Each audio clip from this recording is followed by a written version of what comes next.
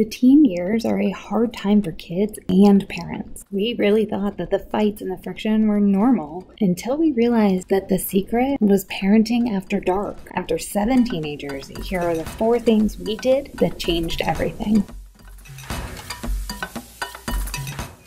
Welcome to the Cook Who Can't Eat podcast, where we're making food, family, and life a little easier, one bite at a time.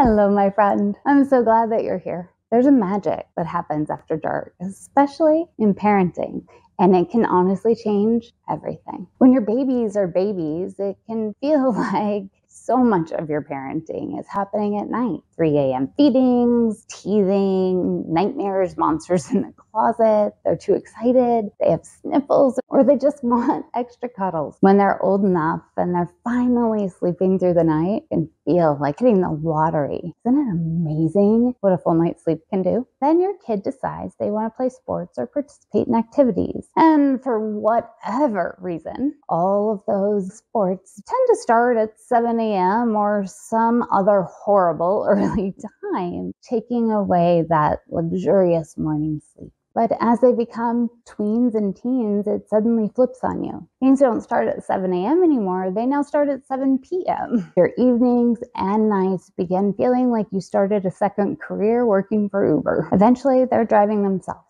And while you're happy to retire from your taxi driver role, you quickly realize just how much time you're now losing with them. They may go to school before you wake up. And there were times when my daughter wouldn't even be home until after I was asleep at night, which meant there were entire days where I wouldn't even get to see her face. It's a cliche for a reason. In the grand scheme of things, you have about half a second to raise your babies to be good humans between life, work, and schedules. It can be hard to find time to have those hard and teachable conversations, and harder still to find time when your teen or tween is actually open to real communication. You know what I'm talking about. When they're willing to talk with more than just a yeah, a grunt fine, a head bob, or my personal favorite. I know. Okay, well, if you know, then why do I have to tell you? We really thought a lot of our fights and friction with our teens were just them being teens and trying to carve out their own independence. Well, that was true. It was actually the pandemic lockdowns that showed me what needed to happen. My parenting needed to start happening after dark.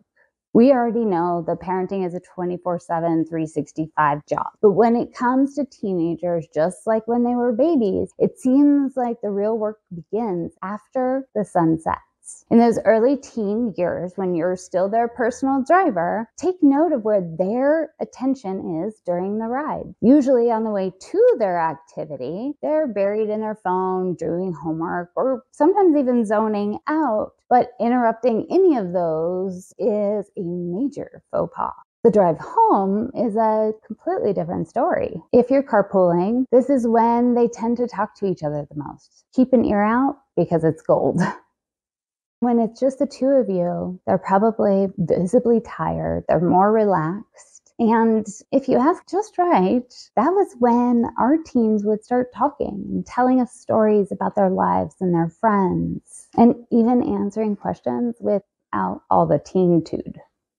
Now, it didn't always work. There were a million factors to take into consideration, not least of which was how tired any of us were. Now, it was usually me that was exhausted. And while I've always been a night owl, sometimes that balancing act or those hard parenting moments are a lot for us parents at the end of an already busy day.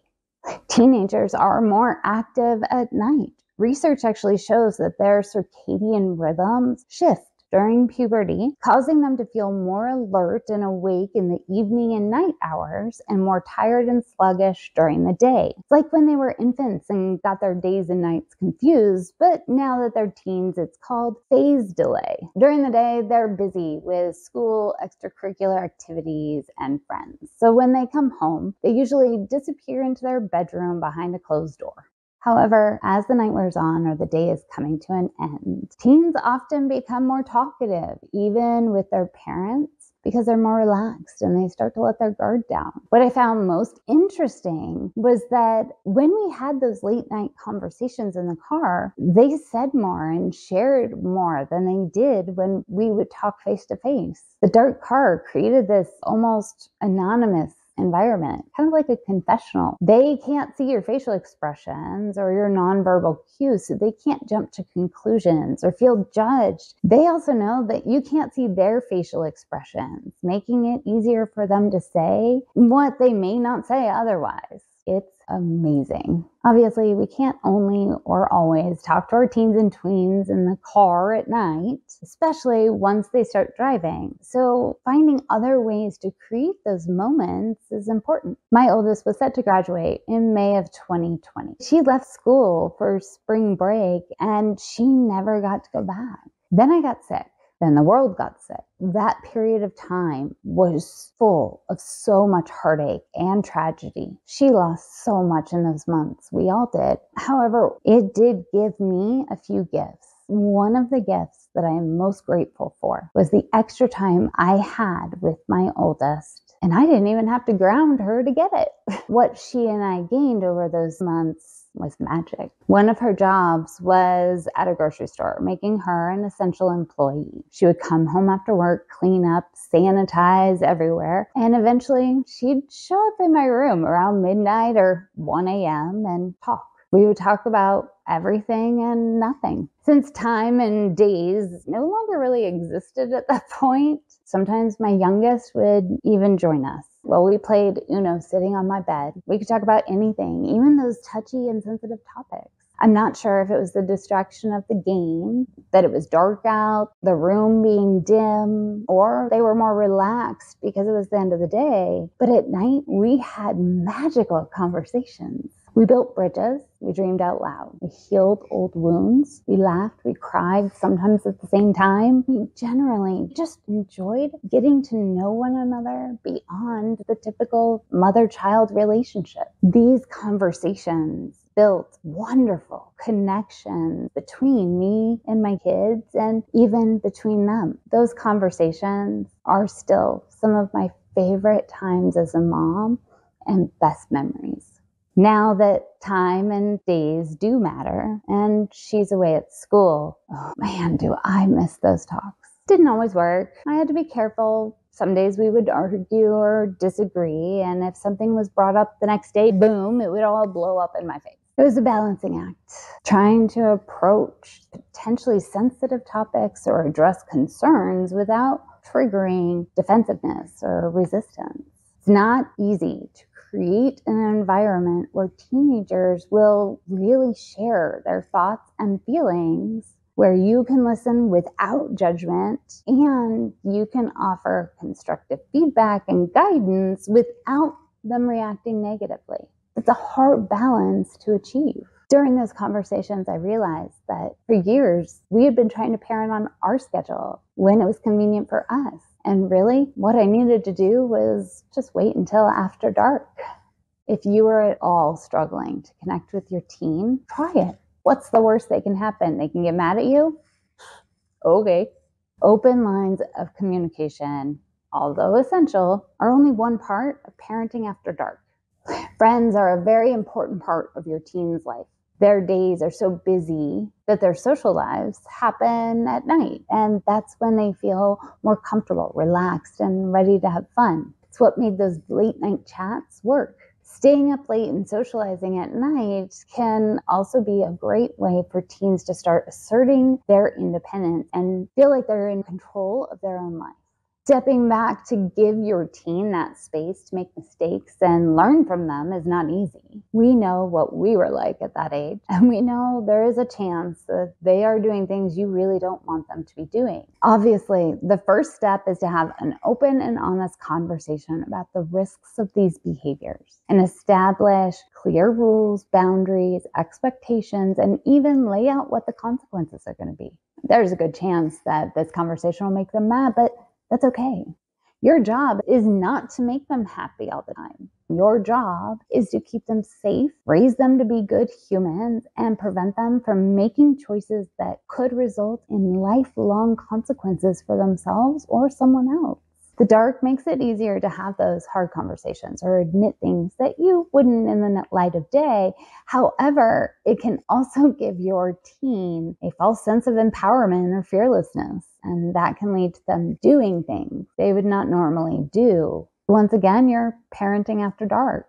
It's hard when your babies are getting older and you're trying to find a balance between monitoring and supporting them and letting them develop their own independence and autonomy. It's scary knowing that there isn't a lot of direct supervision at night, but the good news is that they have started learning how to trust their own intuition at this point. It's your job to foster that and give them safe ways to eject in case of emergency. After seven teenagers, here are the three ways we have found the most success with that job. First, be the bad guy. And more importantly, make sure your child knows that you're okay playing that role. If they want to opt out of an invite without seeming lame, tell them to blame you. If they're out and they're just uncomfortable and they want to come home, but they don't want to be seen as ditching, tell them to blame you. If a bunch of them are deciding where to go or what to do and the selection just doesn't quite sit right with your kid, have them tell their friends that you don't allow them to go there. Take the blame, be the bad guy. Who cares if their friends get mad at you or don't like you? Your kiddo will love you for it be the bad guy. Second, have a secret family code. This is a lot like being the bad guy, but with irrefutable proof. The best way to explain this is with an example. Allow me to set the stage. Your kiddo, Teeny, is a typical 16 year old and has gone out for the night with friends. They picked her up around 7 and she has a ride that will get her home in time for her midnight curfew. Her friends hear about a party, but it's at someone's house that Teeny does not like to be around. She's just really not comfortable and she doesn't want to go to the party. However, the last thing she wants is her friends to think she's being lame or dramatic or even bailing on them. And they're driving her. She's in their car. So now what? Family secret code. Your phone is going to ding with something like, Can you please get my whites out of the dryer? A simple sentence. But once you see it, you know to start blowing up her phone with text and eventually a phone call where you're talking and yelling so loudly that everyone can hear you're demanding that she comes home immediately or that you're coming to get her right this minute because she is in so much trouble. No room for compromise. You are furious and she is coming home right now. Or is she in trouble? Can you please get my whites out of the dryer? Is your family's secret code. This message tells you that Teeny needs a way out, but doesn't want anyone to know that she wants out. You've talked about this and you both know exactly what to do. Your role is the bad guy as far as her friends are concerned. And you be that bad guy loudly. But you're also her safe exit from a potentially bad situation. You're probably thinking, why doesn't she just text you, like, hey, come get me or come pick me up? I want to go home. Totally get that, makes sense. But here's why it doesn't work. Teens are so zoned in on phones, theirs and their friends. Please pick me up text could easily be seen by one of their friends. And the next thing you know, they're being called lame or dramatic or even being accused of bailing teens have enough going on. They don't need to feel trapped at events or outings because they don't want to be treated badly or teased for wanting to go home. A secret family code gives Teeny a risk free way to hit that escape button, and you get to be the bad guy and the good guy at the same time. That doesn't happen very often when your kids are teens. Finally, there's the no questions, no consequences call. Yes, you heard that right. No questions, no consequences. Imagine if Teeny had decided to stay with her friends that night and go to the party. They show up, are having fun, people are drinking, making out in corners, vaping, maybe even experimenting a little to midnight. And Teeny realizes that her ride home is impaired. And while her friend insists that she isn't that drunk and is totally fine to drive, Teeny although impaired herself, knows that any of them getting in that car is an unbelievably bad idea. Ring ring. Teeny's on the phone and she tells you she needs you to pick her up and gives you the address. She's making the no questions, no consequences call. You get up and you go. Once you reach her, the only question you can ask is, Are you okay? And if you end up needing to drive all the friends home, obviously you can also ask for their addresses. The drive will probably be very quiet. Teeny will likely feel embarrassed, guilty, or maybe even a little scared of your potential reaction. Remind her just once that you love her and that this was a no questions, no consequences call, but you're there to listen if she wants to talk. If she does start talking, remember she is impaired. So just listen. Even when you want to smack her upside the head, just listen. Well, this no questions, no consequences call was 100% the right thing for Teeny to do. You will have to make it clear the next day that this is not an every weekend thing or even an every other weekend thing. And it is never meant to be their ride home. This is an in case of emergency situation, and you're proud of her for knowing when to use it. These three ways of parenting after dark being the bad guy, having a family code, and offering a no questions, no consequences call are such huge wins because you are actually showing them what you have probably said to them a million times. Actions speak louder than words for years, your kiddo has heard you say that you've got their back, you're in their corner, but now they can actually see you there. They see you in their corner behind them so they can stand tall even when they want to fall. You are building a trust and a bond with your kid that is unlike anything you've ever had. They know they can come to you and not be treated like a little kid it's actually a huge first step in developing your more adult relationship. And honestly, beautiful. Look, no matter how you do it, parenting teenagers and young adults is hard and it requires some mysterious combination of patience, understanding, and flexibility. As parents, it's easy for us to get overwhelmed by it all we have found that focusing on keeping those lines of communication open, being the bad guy, creating our family code, and offering that no questions, no consequences call has been the best way to connect and communicate with our teens and young adults. Thank you for being here, my friend. If you're parenting a teen or about to, I see you and I promise you, you are doing an amazing job.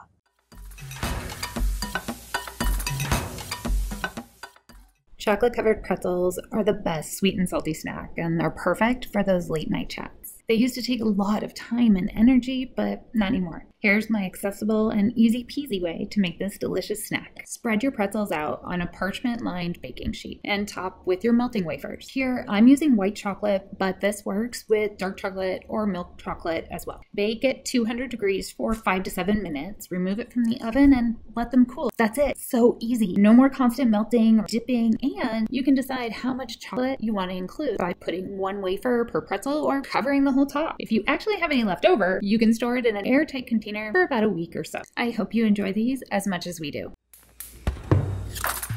Thank you for being here, my friend. I'm so glad you were able to join me. Don't forget to subscribe on your favorite podcast platform because you're not going to want to miss the next episode where we're going to talk about how an adjective can never define your motherhood.